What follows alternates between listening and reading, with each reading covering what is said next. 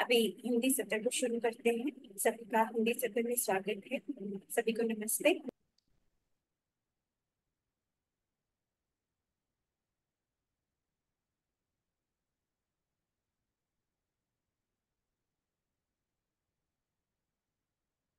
ठीक है। मेरी स्लाइड दिख रही है?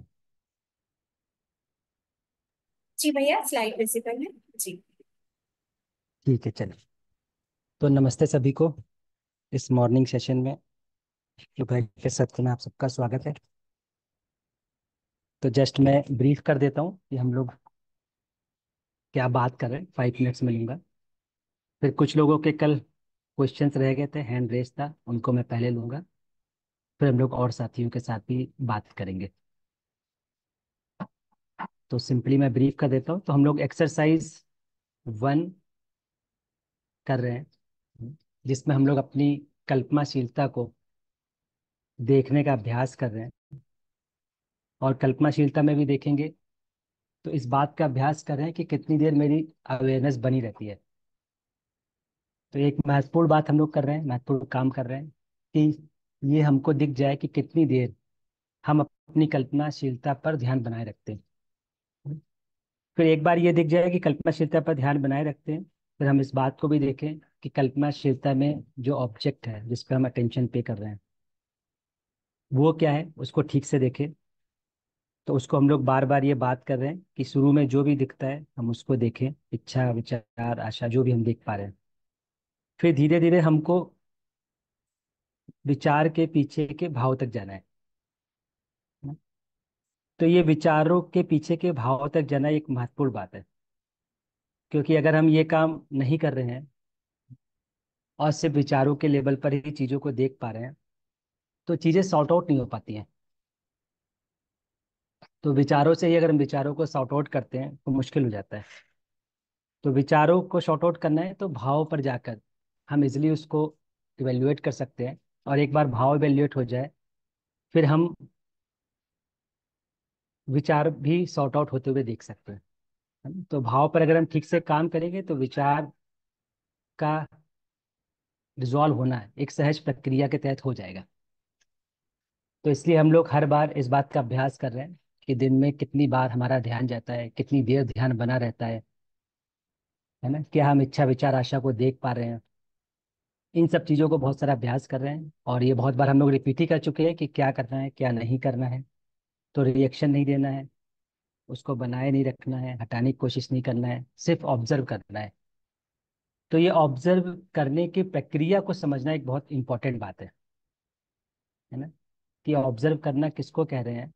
उस प्रक्रिया को समझना, उस प्रक्रिया को होने देना। ये दो बहुत महत्वपूर्ण बातें मुझे लगती हैं। तो पिछले कई दिनों से हम लोग इसी बात को समझने की कोशिश कर रहे हैं कि प्रक्रिया क्या है और प्रक्रिया को होने देने का मतलब क्या है। इसी बात पर हम लोग का कई दिनों से चर्चा चल रही है, आपस में डिस्कशन चल रहा है।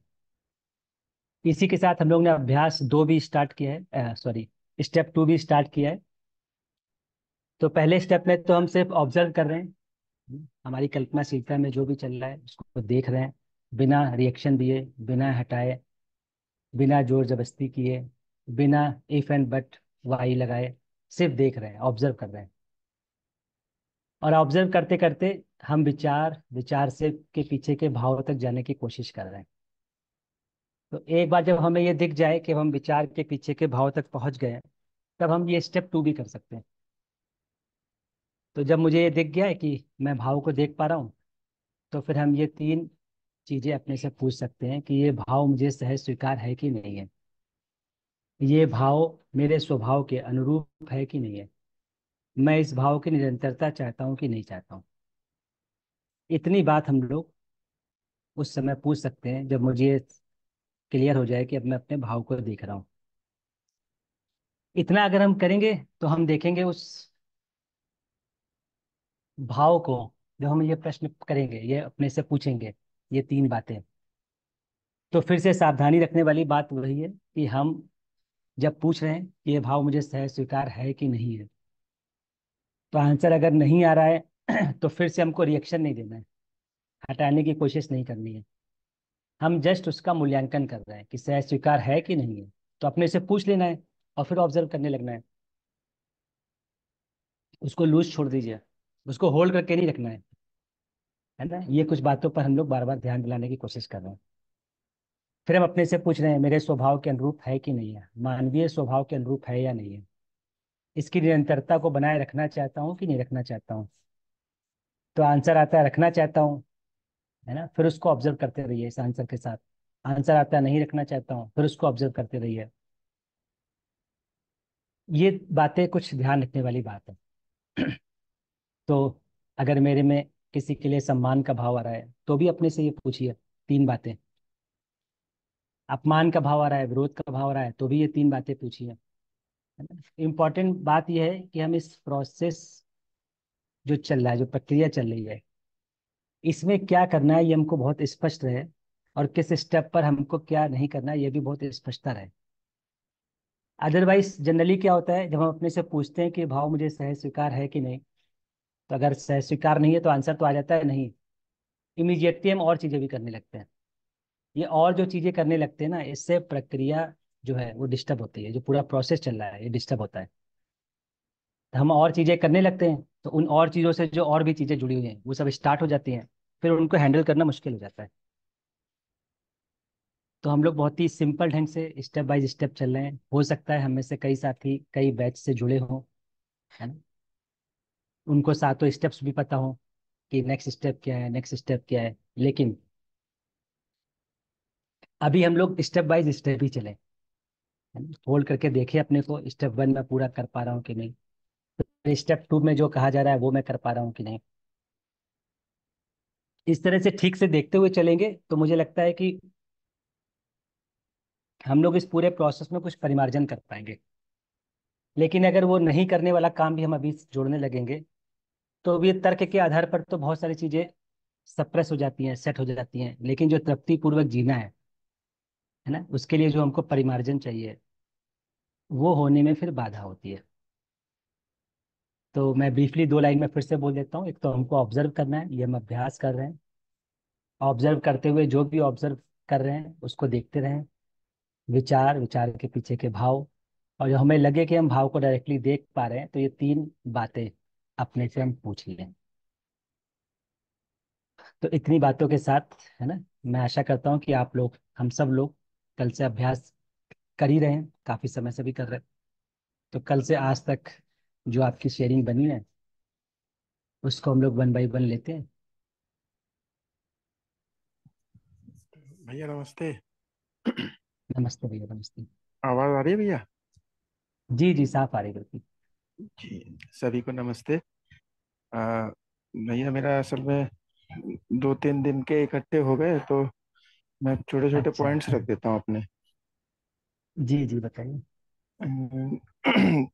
तो एक भैया परसों की घटना है।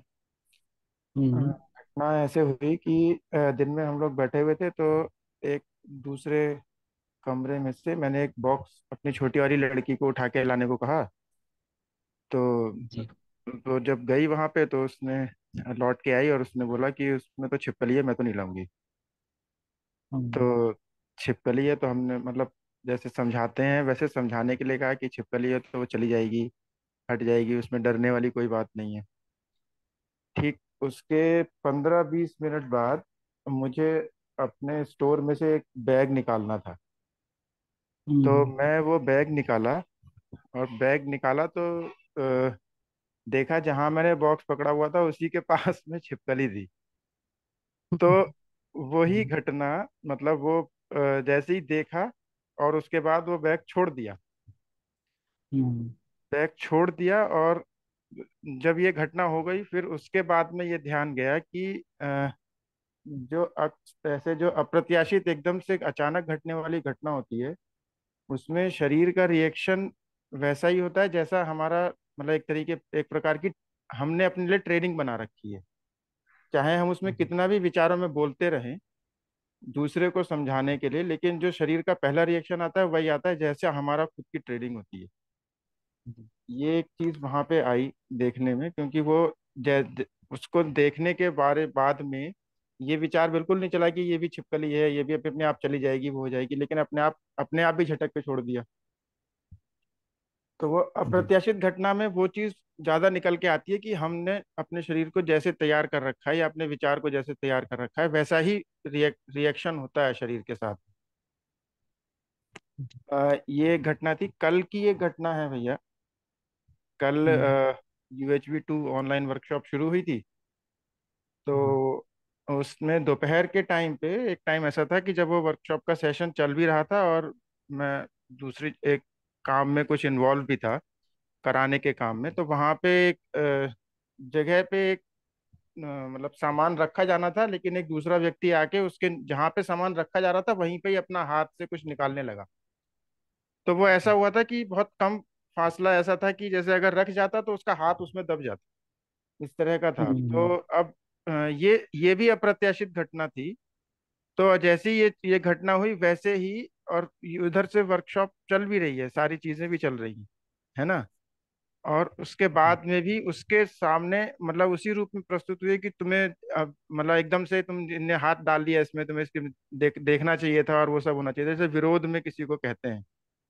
तो वहाँ पे भी ये बात हुई कि विचारों में सोचना और उसका व्यवहार में आ जाना में काफ़ी मतलब अंतर इस वजह से होता है क्योंकि हम विचार से भाव तक पहुँचते नहीं है इस वजह से जो भाव पहले से तैयार रहते हैं उसी भाव से प्रस्तुत होते हैं किसी इस प्रकार की घटना में जो अप्रत्याशित होती है अचानक से होती है। अगर पहले से कुछ होने वाली घटना हो तो वो उसमें हम अपने विचार को पहले ठीक कर लेते हैं। और ठीक हम्म करते हैं हम्म तो हम्म। जैसा व्यवहार हमारा स्वतः नहीं होता है उससे भी अन्यथा मतलब उससे अलग तरह का व्यवहार हम कर ले जाते हैं। तो हमको लगता है कि हाँ ठीक है कुछ ठीक हो गया। लेकिन ऐसी अप्रत्याशित घटना में जो स्वतः निकलने वाला व्यवहार है वो वही निकल के आता है। जब तक कि वो व्यवहार हम्म, में भाव में जाके ठीक ना हो जाए। ये जी दो बात थी भैया।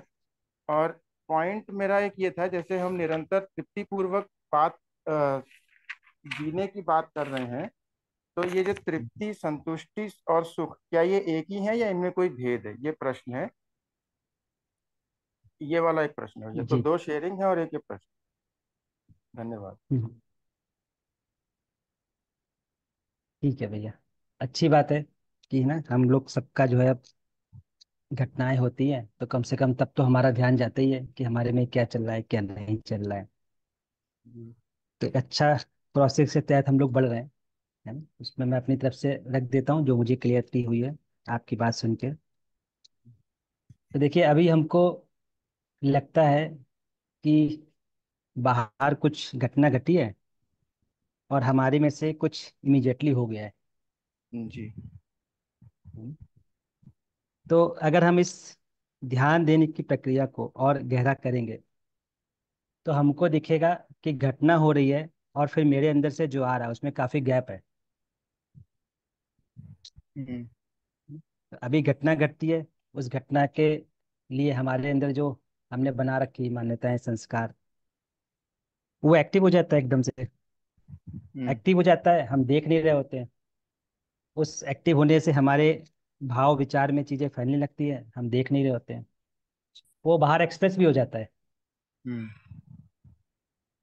तो वो जब देखने की प्रक्रिया को हम लोग और डेंस करेंगे और डेप्थ में ले जाएँगे तो हम ये देखेंगे कि छिपकली का दिखना और अपने में संस्कारों का जगना हम्म। ये इतना भी इमीडिएट नहीं हो रहा है कि हम देख नहीं पाए। है ना? हम्म दूसरी तरीके से अगर मैं इस बात को रखूँ तो मैं ये कह सकता हूँ कि हमारे देखने का पोटेंशियल उस भाव विचार की एक्टिव होने की गति से भी ज़्यादा तेज है। ज़्यादा है उससे। हम्म। तो ये जो हम बात कर रहे हैं कि दृष्टा भाव में आके देखना हम्म। उसी के लिए जो प्रोसेस कर रहे हैं कि पहले तो बिना प्रतिक्रिया के हम देखने का अभ्यास करें तो एक्चुअली जब हम बिना प्रतिक्रिया के देखने के अभ्यास की जब बात कर रहे हैं तो हमारे में जो देखने की क्षमता है उसको हम्म। उसमें आने की बात हो रही है उस पोटेंशियल में आने की बात हो रही है। तो उस पोटेंशियल की जगह से देखेंगे तो हमको बहुत गैप दिखाई देगा कि बाहर कुछ हो रहा है उस होने के साथ मेरे अंदर कल्पनाशीलता में कुछ पहले से बना हुआ है वो बना हुआ है इसलिए एक्टिव होता है। अगर वो बना हुआ नहीं होता तो एक्टिव नहीं हो रहा होता। फिर कुछ और एक्टिव होता है। हम्म। है ना?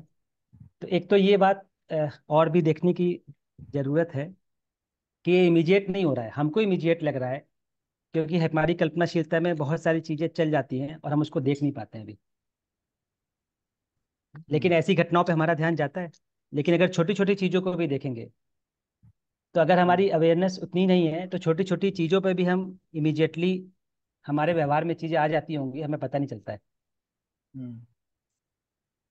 तो बात छिपकली की या बाहर की घटना की नहीं है। बात यह है कि मैं अपने में कितनी अवेयरनेस के साथ देख पा रहा हूँ। हम्म। है ना? तो जैसे अभी कुछ लोगों को देखेंगे बार बार ये बात शेयर करते ही हैं कि बाहर किसी ने कुछ कहा वो इमीडिएटली व्यवहार में आ जाता है हमारे रिएक्शन में आ जाता है। हम्म। तो घटना तो घटना ही है चाहे छिपकली को देख के आ रहा हो चाहे किसी के कमेंट सुन को आ रहा हो। हम्म। लेकिन इशू ये है कि हमने अपने अंदर जो देखने की प्रक्रिया है उसको अगर हम ठीक से नहीं कर पाएँगे तो सब कुछ बहुत इमीडिएट लगता है। हम्म। है ना? तो उसमें मैं अभी इतना ही कहना चाहूँगा कि और ध्यान से देखा जाए छोटी छोटी घटनाओं को लेकर और देखा जाए हम्म। तब हम देख पाएँगे कि इमीडिएट हो रहा है या चीज़ें बाहर होती हैं फिर मेरी कल्पनाशीलता में कुछ एक्टिव होता है संस्कार उससे भाव बनते हैं उससे विचार फैलता है। विचार फिर शरीर के थ्रू एक्सप्रेस होने लगता है। और ये सब करते हुए हम अवेयर हैं तो हम देख पाएँगे। नहीं अवेयर हैं तो हमको बहुत इमीडिएट लगता है। जी तो एक बात तो मैं यही कहना चाहूँगा। हम्म। है ना? दूसरी बात आपने जो पहले वाली बात की थी कि बेटी को तो हम बता रहे हैं चली जाएगी लेकिन हम खुद जो है जब वही घटना हमारे साथ हुई तो हम एकदम से अलग हो गए उससे। है ना? छिपकली से भय में आ गए। हम्म। तो देखिए उसका आंसर तो आपने एक लेवल तक खुद दिया भी है शेयरिंग में ही। हम्म। तो होता है क्या है कि हम अगर भाव के लेवल पर चीज़ों को इवेल्युएट नहीं कर रहे हैं है ना? हम्म। और विचारों के लेवल पर हम तर्क सेट करके अपने लिए कुछ बना लेते हैं दूसरों को कुछ बताने लगते हैं। हम्म। तो भाव के लेवल तक पहुँच कर हम इवेल्युएट नहीं कर पाए हैं तो बहुत सारी चीज़ों को अभी हम भय से ही स्टार्ट करते हैं डाउट से स्टार्ट करते हैं है ना? तो बहुत सारी चीज़ों के लिए हमारे अंदर भय बना रहता है। हम्म तो हमारे में भय का एक भाव बना हुआ है। इसको अगर हम इवेल्युएट किए बिना केवल विचारों में ही तर्क में सब सेट कर देंगे तो दूसरों को बताने में अच्छा लगता है। हम्म। लेकिन जब अपने ऊपर सिचुएशन आती है तो भावों के लेवल पर तो इवेल्युएट अगर नहीं हुआ है तो भाव तो वहीं से स्टार्ट होगा अभाव से स्टार्ट होता है फिर। फिर वो विचारों में फैलता है। तो हमको ऐसा लगता है कि दो मैं दूसरों को बता रहा था मैं खुद तो नहीं कर पाया। हम्म। खुद में वो बात होने लगे। उसके लिए बहुत महत्वपूर्ण बात है कि मैं अपने में हो रहे भाव का मूल्यांकन करूँ। हम्म। और मूल्यांकन के लिए बहुत ज़रूरी है कि मैं अपनी कल्पनाशीलता पर ध्यान देना है इस बात का भी ध्यान रखूँ। हम्म। तो एक बार मूल्यांकित हो जाएगा फिर ये जो समस्या है ना कि दूसरों को मैं कुछ और बता रहा हूँ हम जब उसी सिचुएशन में आ रहे हैं तो कुछ और हो रहा है तो ये गैप खत्म हो जाएगा। हम्म। तो ये जो मेनली गैप है जो हम सबको भी दिखता है कि हम अभ्यास भी कर रहे हैं बहुत सारी है ना मूल्यों की बात भी कर रहे हैं इसके बाद भी जो है अभी गैप दिखता है। तो गैप का मतलब यही है कि तर्क के आधार पर विचार के आधार पर हमको रैशनली चीज़ें सही लगती हैं कि बात तो ठीक ही हो रही है। हम्म। लेकिन जो मूल्यांकन वाला भाग है है ना? व्यवस्था के अर्थ में अस्तित्व के अर्थ में संबंध के अर्थ में। अभी हम उसको मूल्यांकित नहीं कर पाए हैं तो भाव कुछ और बने हुए हैं विचारों में हमने कुछ और फैला लिया है। हम्म। तो जैसे जैसे हम भाव को मूल्यांकन करेंगे तो विचारों उससे जो विचार आएँगे वो ज़्यादा स्थिर होंगे। फिर ये जो गैप हम अपने में फील करते हैं इस गैप से भी हम मुक्त होने की संभावना लगती है मुझे। हम्म। जी भैया। जी ठीक है भैया। तो ये दूसरी बात है आपकी और जो आप तीसरा भी प्रश्न पूछ रहे थे ये सब में डिफरेंस तो मुझे लगता है भैया अभी इन सब में नहीं चलते हैं कि संतुष्टि में सुख में आनंद में क्या है है ना? क्योंकि वो क्या है कि वो भाषा परिभाषा के रूप में चीज़ें फिर से आ जाएँगी। मूल बात यह है कि जितना जितना मैं मूल्यांकन करूँगा उतना उतना मैं मेरे में संतुष्टि भी होगी उतना उतना मेरी में सुख का भी आप देख पाएँगे। और सुख में भी बाहर से निर्भरता हुए बिना ये भी देख पाएँगे। तो देखने वाला काम महत्वपूर्ण है। एक बार दिखना चालू हो जाए फिर क्या फिर तो हम लोग शब्द भाषा सब बना ही सकते हैं अपने। हम्म हम्म है ना?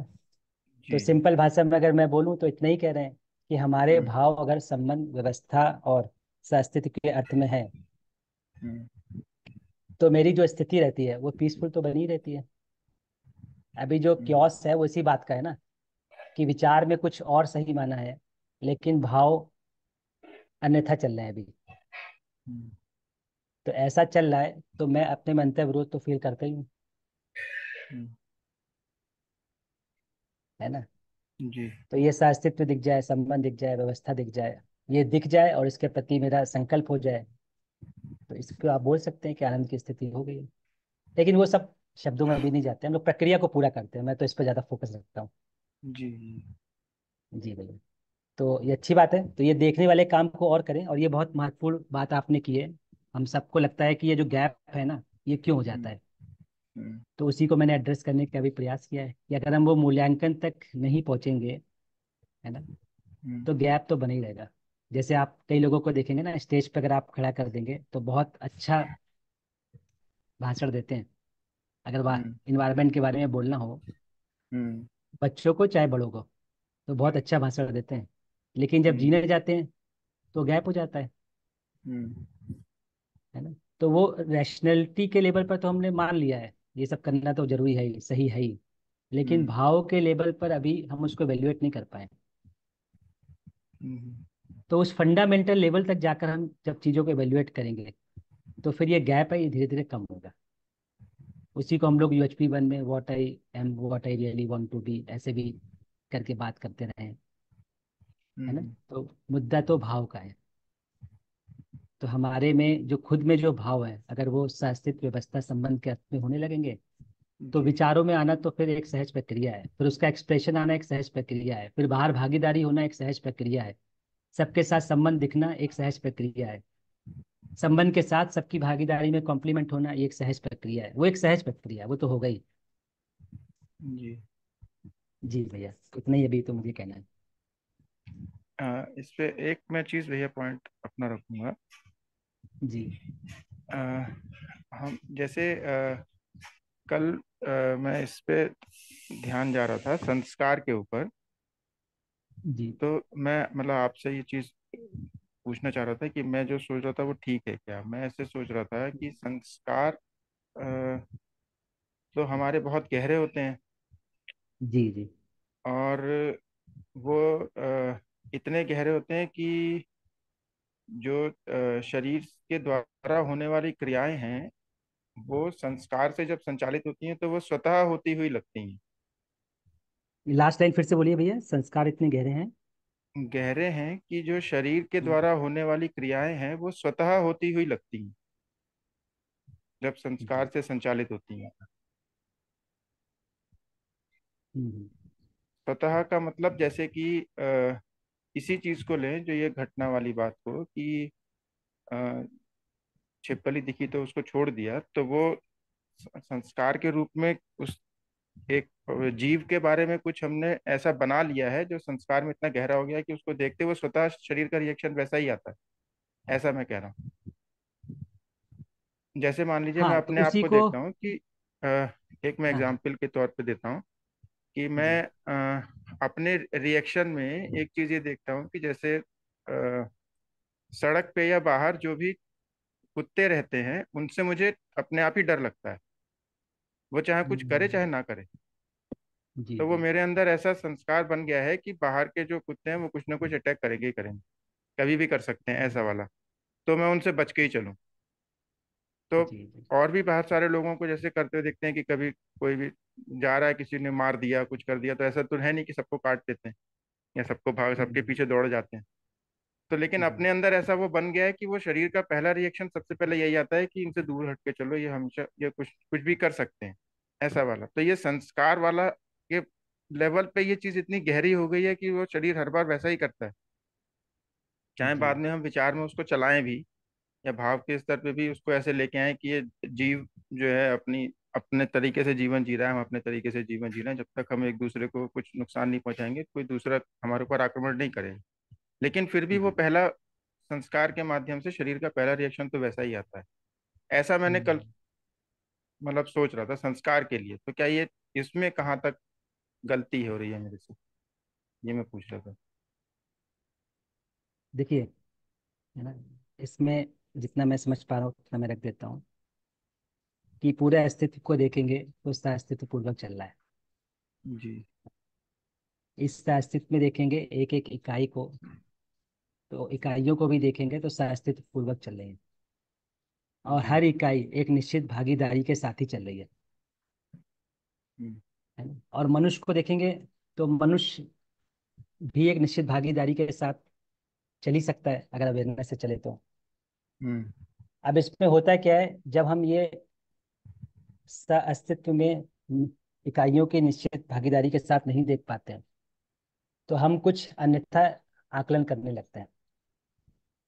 और ये अन्यथा आकलन करके जो अपने में संस्कार बना लेते हैं हम्म, है ना? या हमने बनाया है या दूसरे ने हमको बताया है उसकी स्वीकृति से हमने बना लिया है। हम्म, तो जैसे छोटा बच्चा है उसको हम कह रहे हैं कि छिपकली आ जाएगी दूध पी लो हम्म, उसके अंदर भय क्रिएट करते हैं। हम्म, और वो स्वीकार भी लेता है एक समय पर। हम्म, तो जो चीज़ जैसी है हम उसको वैसा नहीं देखते हैं कुछ अन्यथा से ही करते हैं। ये जो अन्यथा आकलन कर लेते हैं ना इससे हम्म, हमारा बहुत सारा संस्कार बन जाता है। हम्म, और उस संस्कार के फिर हम विक्टिम होते रहते हैं। हम्म, तो डॉग भले ही कुछ ना कर रहा हो लेकिन उसको देखकर हमारे में जो भय आ रहा है उसका दुख तो हमको मिल ही रहा है। तो ये भय हमारे में है तो निरंतर कृतिपूर्वक जीना में तो एक बाधा हो ही गया है। नहीं जीवन में पहले एक घटना ऐसी हुई भी है तो उसके आधार पे भी कुछ बन जी जाता है। जी। वही कह रहे हैं तो घटना हुई है नियम पर हमको अगर ध्यान देंगे तो हम देख पाएँगे ये एक तरह की घटना हुई है। हर बार यही घटना हो रही है ऐसा नहीं है। हम्म, वो होता है कि अस्तित्व में बहुत सारी घटनाएँ हो रही हैं। एक घटना हमारे प्रतिकूल हो जाती है तो हम ये मान लेते हैं कि अब प्रतिकूल ही चलेगा सब। हम्म, हम्म, और ऐसा पशु के बारे में नहीं अगर हम उसको अगर हम व्यवस्था के अर्थ पे चीज़ों को नहीं देख रहे हैं सही आकलन के साथ नहीं देख रहे हैं तो मनुष्य के बारे में भी हम यही बना लेते हैं। जैसे आप किसी शहर में गए और उसने किसी मनुष्य ने आपके साथ चीटिंग कर दिया। हम्म, तो हम पूरे शहर के लिए भी आकलन यही बना लेते हैं ये शहर के लोग ऐसे ही होते हैं। जी ठीक तो हम चाहे मनुष्य का मुद्दा हो चाहे पशु का मुद्दा हो चाहे किसी भी इकाई का मुद्दा हो हम जब आकलन करते हैं ना तो हम्म, अपने संस्कारों में जो अन्यथा जमा कर रखा है उसी से आकलन करते हैं। हम्म, तो अन्यथा बहुत आकलन कर देते हैं जबकि घटना तो एक ही हुई है है ना? नियम निश्चित है। उसके रेफरेंस में देखेंगे तो तो चीज़ें समझ में आएगी लेकिन घटना को ही रेफरेंस में रख लेंगे तो फिर तो आप है ना कई लोगों के साथ अन्यथा आकलन कर सकते हैं। हम्म, और जीवन भर कर सकते हैं। हम्म, तो मुझे लगता है कि इसमें हमको और थोड़ा ध्यान देना चाहिए है ना? ये जो अपने में भय आ गया है चीज़ों के लिए मनुष्यों के लिए। हम्म, इसका आकलन होना ज़रूरी है और इसका आकलन तो जो हम लोग प्रोसेस से कर रहे हैं रास्तित्व व्यवस्था संबंध। इसके लाइट में ही ठीक से हो पाएगा। तो इवेंट कभी अनुकूल होंगे कभी प्रतिकूल होंगे लेकिन चीज़ें तो नियम से ही चल रही हैं। उस नियम पर ध्यान बनाए रखेंगे तो हमको दिखेगा ये एक इवेंट हुई है। हर यूनिट ऐसी इवेंट कर रही है ऐसा नहीं है। जी। इतना अगर मुझे लगता है देखेंगे तो हम रिलैक्स हो पाएँगे और जो अपने में जो भय बन गया अन्यथा उससे भी निकल सकते हैं। जी भैया धन्यवाद भैया इस तरफ़ ध्यान दिलाने के लिए। जी। धन्यवाद। ठीक है भाई। जी दीदी। नमस्ते भैया। नमस्ते दीदी। अ, भैया ये अ, जो एक्सरसाइज है ना फ़र्स्ट फ़र्स्ट स्टेप और सेकंड स्टेप जी। ये अ, मतलब मुझे काफ़ी टाइम तो जब मैं अ, बहुत आराम वाली स्थिति में थी तो मुझे लगता था कि अ, मतलब भाव की जगह जाके भी बहुत ज़्यादा कुछ विशेष नहीं दिखता था और विचारों में भी अ, जैसे आरामदायक स्थिति बनी रहती थी। और पूरे दिन हम्म, अगर मैं अपने पहले विचारों को देखती थी तो लगता था कि सब ठीक ही चल रहा है।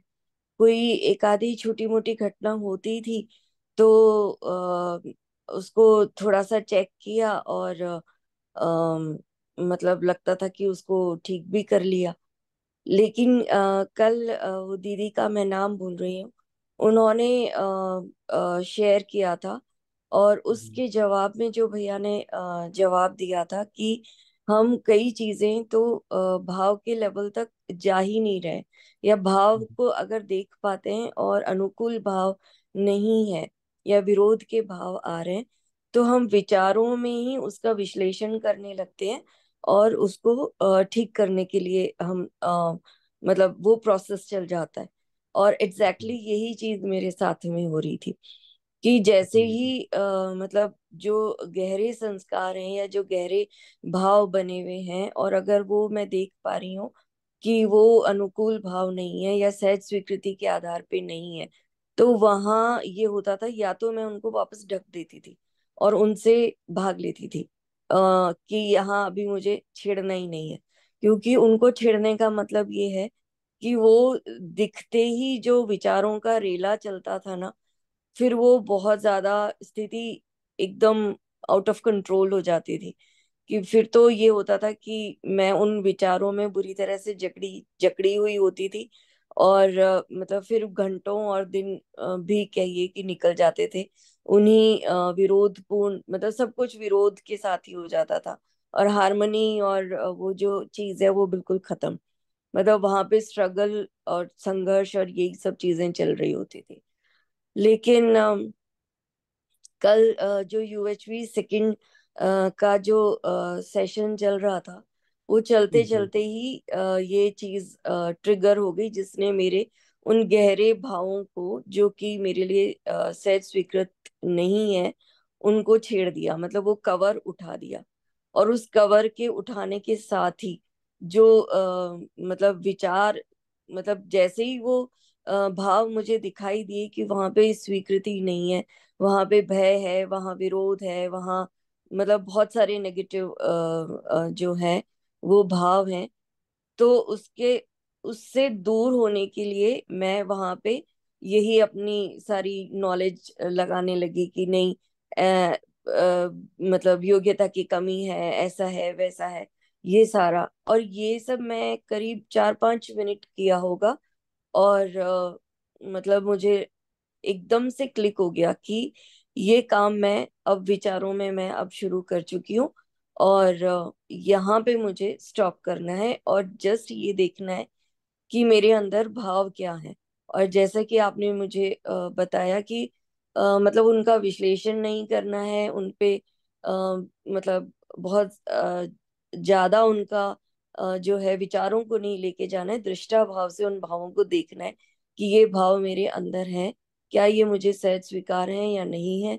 क्या ये निरंतरता के साथ में मुझे चाहिए या नहीं चाहिए? और तो मैं मतलब कल ये एक्सरसाइज कर पाई।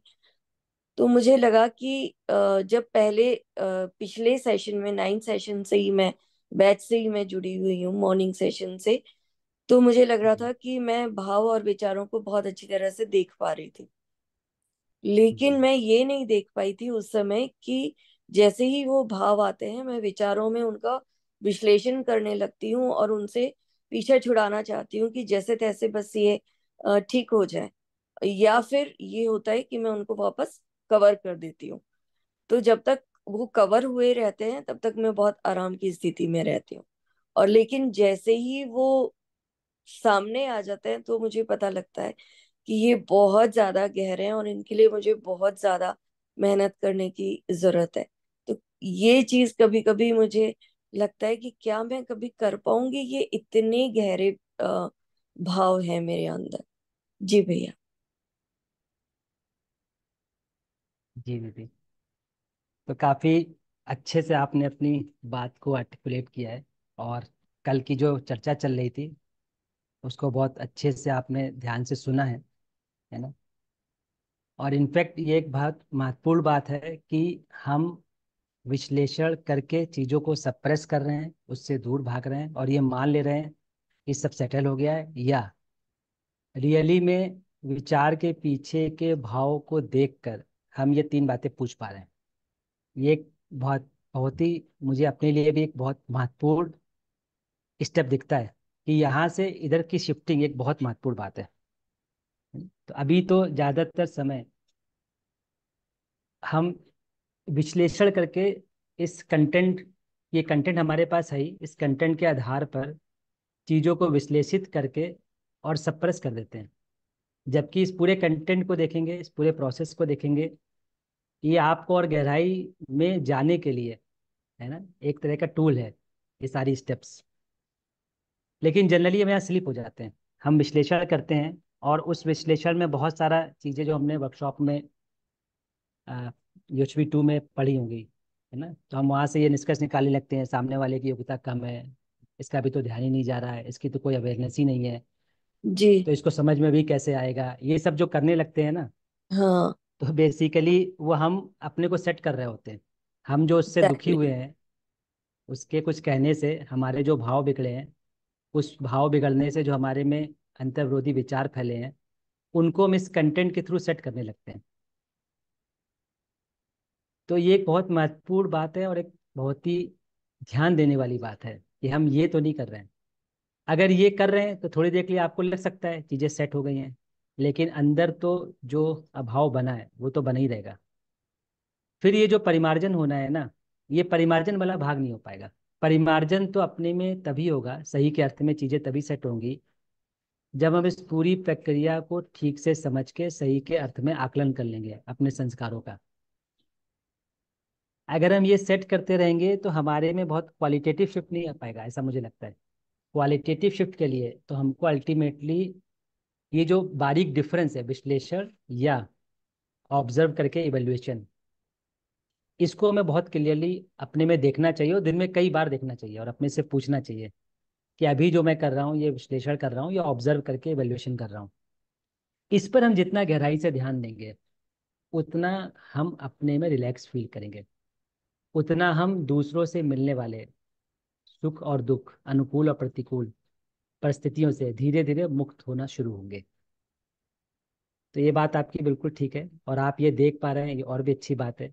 कम से कम हमें दिख रहा है कि हम विश्लेषण कर रहे हैं आकलन नहीं कर पा रहे हैं तो आज हमको दिख रहा है कल हम नेक्स्ट स्टेप भी कर पाएँगे।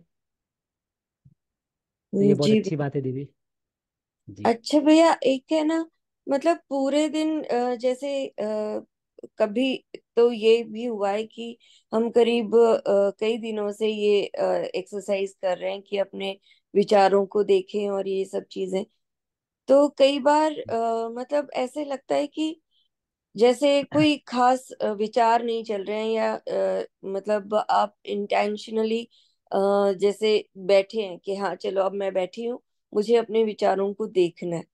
तो अ, जब आराम की स्थिति है जब अनुकूल स्थिति है तो मतलब उस समय ऐसे लगता है कि अब यहाँ पे तो कुछ है ही नहीं अभी यहाँ पे क्या देखूँ है ना? फिर कोई घटना हो जाती है और जब तक अनुकूल रहता है तब तक तो सब अच्छा ही चल रहा होता है तो बहुत ज़्यादा आवश्यकता भी नहीं बनती है कि विचारों की ओर देखा जाए और देख भी लेते हैं तो लगता है कि हाँ ठीक ही चल रहा है। ये जो ये विचारों को देखने की और उसके पीछे भाव देखने की आवश्यकता ही तब लगती है जब कुछ बिगड़ता है जब अनुकूल नहीं होता है। ये भी एक चीज़ मैं नोटिस कर पाई। तो भैया इस बारे में आपके लिए क्या कहना है? हाँ अभी आपका पिछले में भी एक प्रश्न रह गया उसको भी ले लेता हूँ फिर ये वाला प्रश्न जी। भी ले लेते हैं।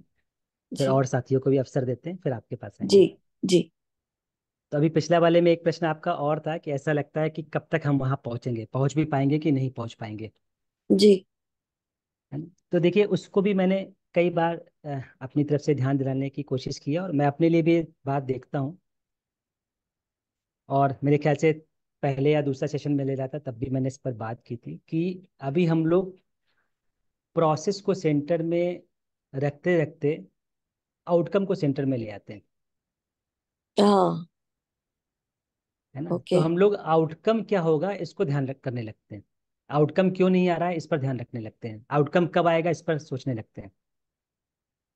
जबकि अगर प्रोसेस को हम ध्यान में रखेंगे तो आउटकम आना तो एक नेचुरल प्रक्रिया है ही। किसी के लिए जल्दी आएगा किसी के लिए थोड़ा देर आएगा वो तो आना ही है। लेकिन आउटकम को अगर हम ले आएँगे सेंटर में और प्रोसेस में ऑब्स्टिकल कर देंगे तो फिर वो फल जो आप एक्सपेक्टेड है आपको वो और लेट हो सकता है। हम्म। तो फल जो आना है वो एक निश्चित प्रक्रिया के तहत ही आएगा।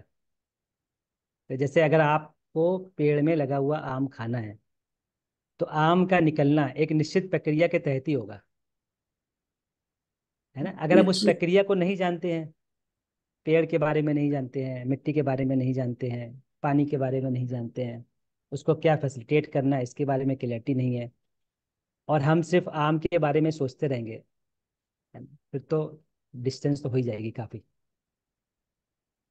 तो इसी तरह हम केवल ऐसी स्थिति को ही सोचते रहेंगे अनुभव को ही सोचते रहेंगे संपृक्ता को ही सोचते रहेंगे आनंद को ही सोचते रहेंगे लेकिन प्रक्रिया पे अगर ध्यान नहीं जाएगा तो उस पर डिले हम्म होना तो स्वाभाविक है ही।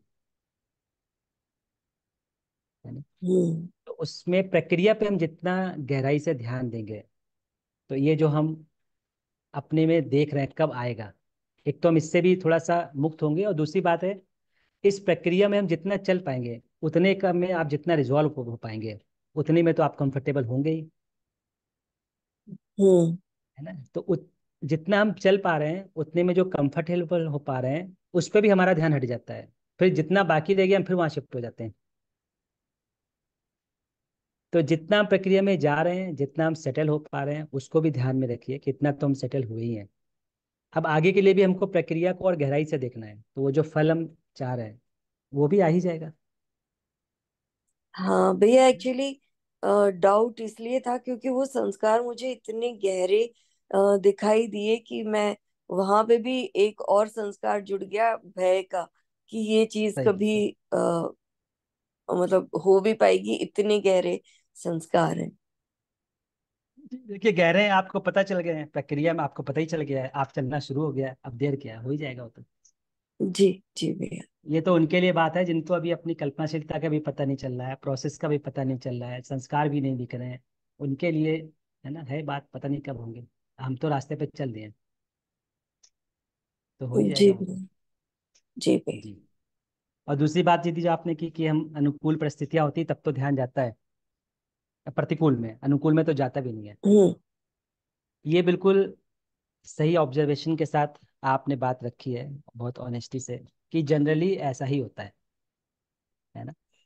वो एक पुरानी कहावत है ना एक दुख में सुमरन सब करे सुख में करे ना कोई। जी। तो जो हम परेशान होते हैं तब दुनिया भर का हमको चीज़ें ध्यान आने लगती हैं। जब परिस्थितियाँ अनुकूल हो जाती हैं तो हम सब भूल जाते हैं। अभी क्या है हम अनुकूलता को ही सुख मान लेते हैं प्रतिकूलता को ही दुख मान लेते हैं। तो जैसी अनुकूल परिस्थितियाँ आती हैं तो हमको लगता है सब ठीक ही तो चल रहा है। हम्म। तो ध्यान से देखेंगे वो ठीक नहीं चल रहा है। परिस्थितियाँ अनुकूल हो गई हैं तो आपके संस्कारों को ट्रिगर हो जाए। ऐसी स्थिति बाहर नहीं बन रही अभी। हाँ। तो हम उसी को सुख मान लेते हैं तो हम आराम से बैठ जाते हैं। अगर उस परिस्थिति में भी हमको ध्यान बना रहे ये परिस्थिति अनुकूल हुई है मेरी स्थिति अभी सही है कि नहीं है इसको देखना बाकी है। तो जब परिस्थिति अनुकूल है इसका मतलब क्या है? आपके अराउंड ऐसी चीज़ें हैं ऐसे लोग हैं जिनके लिए आपके अंदर अभी कोई अन्यथा भाव नहीं है। हम्म अनुकूल होने का मतलब ये है। बिल्कुल। है ना? और वो कुछ ऐसा कर भी नहीं रहे कि आपके संस्कार बार बार ट्रिगर हों। जी। तो इसलिए हमको लगता है सब ठीक ही तो चल रहा है। हम्म। है ना? ऐसी परिस्थिति में भी हमको अपने ऊपर ध्यान बनाए रखने का अभ्यास करना है कि अभी परिस्थिति ठीक है अब मैं अपनी स्थिति को देखता हूँ अच्छे से और। होता ही है परिस्थितियाँ जब ठीक होती हैं तो हम परिस्थितियों में इन्वॉल्व होने लगते हैं। फिर जब परेशान होते हैं तो फिर हमको कल्पनाशीलता का ध्यान आता है। है ना? हम्म। तो ये थोड़ा सा ध्यान देने वाली बात है कि परिस्थिति अनुकूल है तो अनुकूल परिस्थिति में हम क्या करेंगे? अपने ऊपर और गहराई से काम करेंगे और अपने डीप संस्कारों को देखेंगे? क्योंकि परिस्थिति प्रतिकूल होती है तो तुमको संस्कार वही दिखते हैं ना जो परिस्थितियों से जो ट्रिगर हो रहे हैं। है ना? जी भैया अब मैं एक चीज़ सीख पा आज मतलब मैं ये सीख पा रही हूँ कि आ, मतलब जो मैंने अपने भावों को देखा और उन भावों को से जो विचार चलते हैं उनसे क्योंकि मैं बहुत ज़्यादा प्रभावित हो जाती थी इसलिए उन भावों को देखना नहीं चाहती थी। लेकिन आज मैं ये एक लेसन ले पाई हूँ कि अनुकूल परिस्थितियों में भी जब मुझे पता है कि मेरे अंदर के जो भाव है, अंदर की जो स्थिति है, वहाँ अभी भी गड़बड़ है। तो अब मैं उनको शायद आराम से देख पाऊँगी, क्योंकि अभी मुझे सिर्फ़ उनको देखना है। उनसे रिलेटेड, उनको दूर करने के लिए या उनको सही करने के लिए जो विचार हैं, उनको मुझे नहीं चलाना है। तो शायद अब मैं ये थोड़ा आराम के साथ में या थोड़ा मतलब उतनी परेशानी अब मुझे नहीं होगी उनको। देखने में ऐसा मुझे आभास हो रहा है। जी जी। तो उसको बस मैं एक लाइन में समअप कर देता हूँ। परिस्थिति चाहे अनुकूल हो प्रतिकूल हो अपने में देखने वाला काम तो हमको निरंतर ही करना है। ना? जनरली हम अनुकूल परिस्थितियों में रुक जाते हैं। अनुकूल परिस्थितियों में रुक जाते हैं तो उस समय हम अपने को एड्रेस नहीं कर रहे होते हैं। तो प्रतिकूलता जब आती है तो फिर हम उसको और सही से देख नहीं पाते हैं और परेशान हो जाते हैं इस बात का अगर थोड़ा सा हम लोग ध्यान देंगे तो अनुकूल परिस्थिति हो चाहे प्रतिकूल हो काम तो मुझे अपने ऊपर निरंतर करना है। है ना? और निरंतर काम में क्या करना है? ऑब्जर्वेशन रखना है। बिना रिएक्शन दिए। और भाव तक जाना है। और भाव पर जाकर ये तीन बातें अपने से पूछनी है। क्या ये मुझे सहज स्वीकार है? क्या मैं इसकी निरंतरता चाहता हूँ? क्या यही मानवीय स्वभाव है? इतना करते ही रहना अनुकूल हो चाहे प्रतिकूल हो। जी दीदी जी। भैया बहुत बहुत धन्यवाद। नमस्ते भैया नमस्ते सभी को। नमस्ते दीदी नमस्ते। भैया दो चीज़ों पे ध्यान गया। पहली बात तो जब भैया ने छिपकली वाली बात कही तो हम्म। एक्चुअली होता क्या था कि बचपन से मेरे मन में भी ना उसके लिए बहुत डर था बहुत ही ज़्यादा डर। छिपकली आ गई तो बहुत ज़्यादा डर जाती थी। और वही ये देख पाई कि ये एक बचपन का संस्कार है जिसकी वजह से ऐसा हुआ है। और आ, अब भैया जब से यूएचबी के कंटेंट से जुड़ी हूँ तो उसके बाद अब जब ध्यान आया तो फिर देखा कि छिपकली है इतनी छोटी सी है तो वो क्या कर लेगी? या उसके प्रति जो पहले से इतनी गहरी मान्यता बन, बनी हुई है वो धीरे धीरे कम करने की कोशिश कर रही हूँ। एक बात तो भैया ये बोलनी थी। दूसरी बात की जैसे दीदी ने अभी ध्यान दिलाया कि जब परिस्थिति ठीक होती है हम सहज रहते हैं तो विचारों पे या फिर कल्पनाशीलता पे ध्यान भी नहीं जाता। और जब विपरीत हो जाती है तो विपरीत समय में कहीं ना कहीं ध्यान जाता है। तो पहले क्या करती थी भैया कि ये समझ में बात आती थी कि आ, अपने आप पे ध्यान देना है और बाहर की परिस्थिति कुछ भी हो अपने आप में स्टेबल रहने की कोशिश करना है। बट वो स्टेबल रहने की कोशिश एडजस्टमेंट के साथ करती थी। वो दूसरे की कॉम्पिटेंस को लेकर करती थी जैसे आपने भी याद दिलाया अभी। कि जैसे यूएचवी चल रहा है तो उस बेस पे हम क्या जजमेंट करते हैं कि जो दूसरा व्यक्ति है शायद उसकी कॉम्पिटेंस अभी इतनी ज़्यादा डेवलप नहीं हो पाई है। इस वजह से वो इस तरह का बिहेवियर शो कर रहा है और मेरी कॉम्पिटेंस ठीक है तो मैं उस चीज़ को समझ पा रही हूँ। बट उसके आगे आ, किस तरह से ध्यान देना है अपनी कल्पनाशीलता पे वो चीज़ कंटिन्यू नहीं हो पाती थी भैया। तो बस यही पूछना चाह रही थी कि इसको किस तरह से कंटिन्यू करेंगे। मैं अपनी बात रख पाई भैया क्या? जी जी। तो देखिए दीदी जब हम ये बात कहते हैं ना कि उसका कॉम्पिटेंस कम है हमारा कॉम्पिटेंस ज़्यादा है। तो जब ये बात कह रहे हैं तो किस आधार पे कह रहे हैं? कैसे आप तय कर रहे हैं कि आपका कॉम्पिटेंस ज़्यादा है उसका कॉम्पिटेंस कम है? ये एक ध्यान देने वाली बात है। है ना? अगर आप कंटेंट के आधार पर तय कर रहे हैं कि मुझे तो बहुत सारे शब्द है ना? क्रियाएँ स्थिति हम्म। क्रिया गति क्रिया दस क्रियाएँ अस्तित्व व्यवस्था संबंध इन सूचनाओं के आधार पर तय कर रहे हैं। तो ये बात समझ भी ले कि उसकी कॉम्पिटेंस कम है तो हम उसके कॉम्प्लीमेंट नहीं हो पाएँगे इतनी बात से। जी भैया। है ना? इनफैक्ट हम हाँ इस अहंकार में आकर उससे डिस्टेंस भी बना सकते हैं। जी भैया। हम्म। तो एक समय पर हमको ये भी लग सकता है इससे बात भी इतनी क्यों करूँ जब इसका योग्यता ही नहीं है तो। हाँ दूर रहो। सही बात। और ये जहाँ हमारे विज्ञान में आ रहा है कि दूर रहो इसका मतलब हम अपने में रिएक्शन में आ गए हैं। इतना हम्म। सब सूचना होने के बाद भी। जी। तो वो हमको देखना पड़ेगा जब हम ये कहते हैं दूसरे की योग्यता कम है अपनी ज़्यादा है तो किस आधार पे कह रहे हैं? तो एक तो ये हो सकता है हम कंटेंट के आधार पे कह रहे हैं। एक ये हो सकता है वही जो कि रिएक्शन हम निकल रहा है उसके आधार पे। मीन्स जी जी। ऐसा लगता है कि कोई छोटी सी को, कोई बात है कुछ भी है तो अगर अ, सामने वाले व्यक्ति को ये कंटेंट नहीं पता है या पता भी है तो उसका शायद उस पर ध्यान नहीं गया है। और ध्यान नहीं गया है इसलिए छोटी सी बात पे भी उसका एक रिएक्शन दिखता है। वो एकदम से अ, असहज हो जाता है सहजता में नहीं रहता है। और शायद थोड़ा सा मैं कोशिश कर रही हूँ तो इसलिए मैं उस चीज़ उस टाइम पे सहज पूर्वक रह पाती हूँ। ये बात थी भैया जी, उसी को दीदी मैं कह रहा था, ये जो हम बार बार कहते हैं ना कि हम उस समय सहज रूप में रह पाता हूँ या रह पाती हूँ, उसको हमें और ध्यान देना है कि हम इस कंटेंट से मिले शब्दों से बनाए गए तर्क के आधार पर शांत रहते हैं या उस समय जब उस व्यक्ति को हम सुन रहे हैं, सुन के अपनी कल्पनाशीलता में ऑब्ज़र्व कर रहे हैं, उसके लिए जो विचार आ रहा है, उसके पीछे भाव को देख पा रहा हूँ और भाव के आधार पर मैं तय कर रहा हूँ कि मैं सहज हूँ कि नहीं। जी भैया। ये थोड़ा वेरिफिकेशन वाली बात है दीदी। अगर भाव के आधार पर हम सहज हैं हम ये देख पाए कि व्यक्ति ने कुछ मिस्टेक से बोला या मिस्टेक हुई। अब हम्म। मेरे अंदर उसके लिए विचार चल रहा है और ये विचार जो है मेरे में वात्सल्य के भाव से आ रहा है कि कैसे मैं उसकी योग्यता में कॉम्प्लीमेंट हो जाऊँ। हम्म इसके पीछे भाव मेरे में वात्सल्य का बना है। तो तो ठीक ही है फिर तो आपकी योग्यता ही हम्म। ज़्यादा है। लेकिन भाव के लेवल पर जाकर हम देख पा रहे हैं तो। फिर तो आपका अपने बारे में आकलन ठीक है कि मेरी योग्यता है ना कम से कम इतनी तो है कि मैं स्थिर रह पा रहा हूँ क्योंकि मैं अपने भाव को देख रहा हूँ। और इसी भाव की मैं निरंतरता भी चाहता हूँ यही भाव हम्म। मानवीय है ना स्वभाव के अनुकूल भी है। तो इतना देख पा रहे हैं फिर आप देख रहे हैं कि हाँ मेरी योग्यता इस व्यक्ति से थोड़ी ज़्यादा है। फिर तो ठीक ही बात है। तब वात्सल के भाव से अगर देख रहे हैं तो क्या करेंगे? फिर हम उसके कॉम्प्लीमेंट होने की कोशिश करेंगे। उसके लिए वात्सल्य के भाव का निर्वाह करेंगे। तब हमारे में जो विचार चलेगा, वो विचार ये चलेगा कि इसकी योग्यता में मैं कैसे, है ना, और हेल्प कर सकूँ कॉम्प्लीमेंट हो जाऊँ, पूरक हो जाऊँ, ये सब विचार चलने लगेंगे। तो विचार चलते हुए भी हमारे में रिएक्शन नहीं आएगा। तो ये मैं कहना चाहता हूँ, इसको हम लोग थोड़ा सा देखें कि किस आधार पर हमको लगता है कि हमारी योग्यता उससे ज़्यादा है। जी।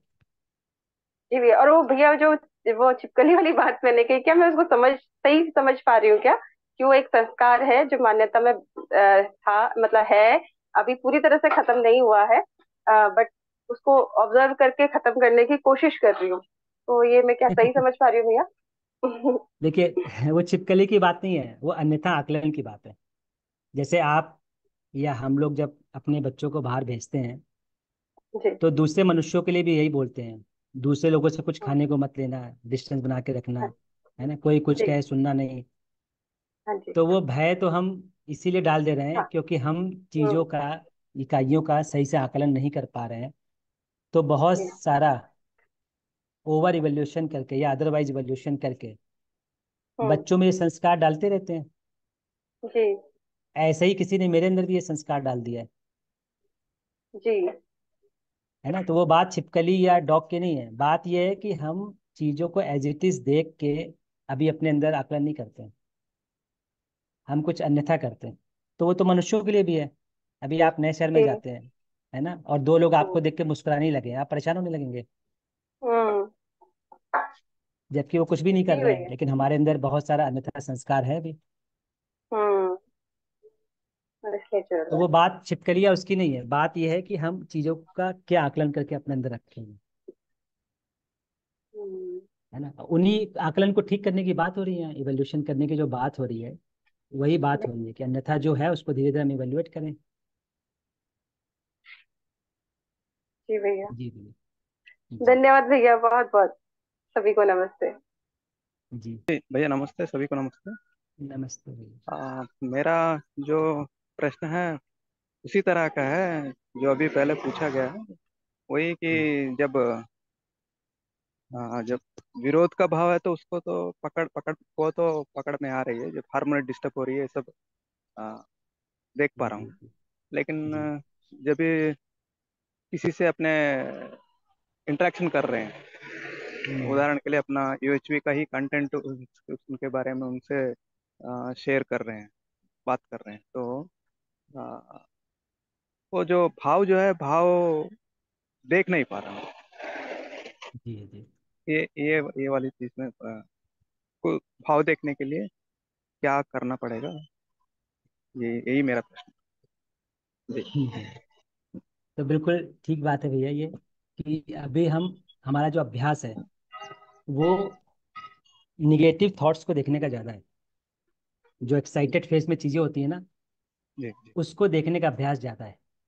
तो जब आप पॉजिटिवली एक्साइटेड होंगे, तब भी उस विचार को देख पाएँगे। निगेटिवली एक्साइटेड होंगे, तब भी उस विचार को देख पाएँगे। क्योंकि हमारा अभ्यास अभी सहज चीज़ों का, है ना? जो नेचुरल घटनाएँ हो रही हैं, उनको देखने का अभ्यास नहीं है अभी। तो ना हम नेचुरल घटनाओं को पकड़ पाते हैं, ना उसके पीछे के नियम को पकड़ पाते हैं। लेकिन जो एक्साइटमेंट चीज़ें हो रही है एक्साइटेड चीज़ें हो रही हैं एक्साइटमेंट फ़ेज़ में उसको हम बहुत जल्दी पकड़ लेते हैं। और वो इसीलिए पकड़ पाते हैं क्योंकि बचपन से हमारा ऐसे ही अपब्रिंगिंग हुई है ध्यान दिलाया गया है। ना? तो जैसे क्लासरूम में कोई बच्चा है तो जो बहुत ज़्यादा जिसका व्यवहार कॉन्ट्राडिक्टरी होगा अलग होगा उसको हम तुरंत ध्यान कर लेते हैं।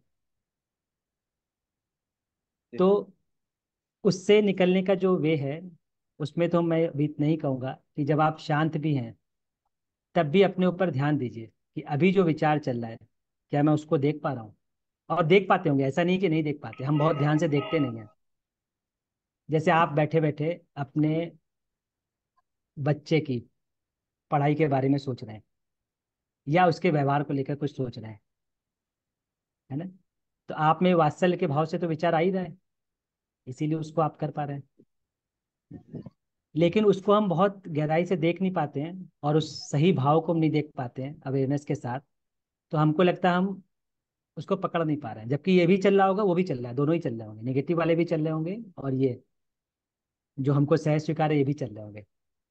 तो जो सहज स्वीकार भाव है और उससे जो विचार है, इसको देखने के लिए थोड़ा सा और हमको ना सूक्ष्मता बढ़ानी पड़ेगी। क्योंकि उथल पुथल तो हम पकड़ लेते हैं। तो जैसे अगर आप एक विलेज से जा रहे हैं और तालाब है, तालाब बिल्कुल शांत है तो हम आगे निकल जाते हैं। हमको लगता है सब ठीक ही तो चल रहा है। उसमें कोई पत्थर मार दे तो हमारा ध्यान चला जाता है कि देखो वेव्स कैसे बन रही हैं, है ना? कैसे आपस में टकरा रही हैं। तो अभी क्या है कि शांत चीज़ें भी हो रही हैं, हमारे में शांत विचार भी चल रहे हैं, शांत भाव भी चल रहे हैं, उनको भी देखने का हमको अभ्यास करना है। तो वो अभ्यास कैसे होगा उसी का हम लोग अभी बात कर रहे हैं कि जब हमारी देखने का जो टाइम पीरियड है, अवेयरनेस के साथ वो बढ़ेगा तो कई बार ऐसे विचार भाव भी हम देख पाएँगे जो निगेटिवली एक्साइटेड हैं या पॉजिटिवली एक्साइटेड हैं, और कई बार हम ऐसे विचार और भाव भी देख पाएँगे, जो शांत है, जो विश्वास के भाव से आ रहे होंगे, जो सम्मान के भाव से आ रहे होंगे, जो वात्सल के भाव से आ रहे होंगे, ममता के भाव से आ रहे होंगे, ऐसे भाव विचार को भी हम देख पाएँगे। तो वो जितना हम देखने का अभ्यास करेंगे ना, उतना ही सूक्ष्मता से हम इस बात को पकड़ पाएँगे कि शांत वाले भी चलते हैं। तो जब आप शांत हो, तब भी अभ्यास करिए, जैसा मैं अभी दीदी के बारे में बता रहा था। तो शांत विचारों को भी हम देख पाएँगे। जी भैया। जी भैया मैं अभ्यास करता हूँ। ठीक है। धन्यवाद धन्यवाद। तो समय हो गया है हम लोग अभी यहीं पर रख लेते हैं।